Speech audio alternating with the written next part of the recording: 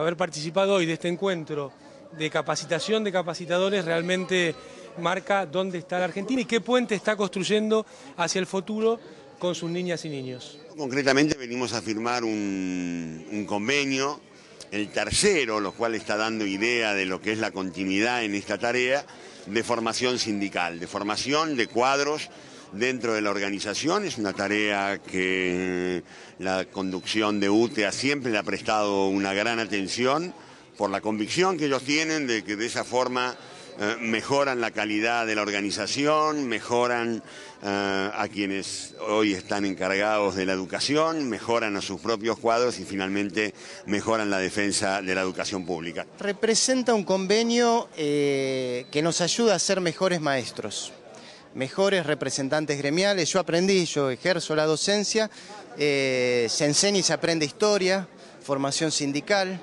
y es necesario porque la UTE es un gremio docente de la ciudad de Buenos Aires. Aquí es la única jurisdicción del país donde faltan maestros y tiene que ver por las políticas de ajuste en la ciudad de Buenos Aires llevada adelante por Mauricio Macri. En todo el país hay maestros, en Capital Federal no hay. Entonces los pocos que habemos nos preparamos, nos preocupamos en brindar una mejor educación, en proteger la educación pública ante los ataques del jefe de gobierno de la Ciudad de Buenos Aires.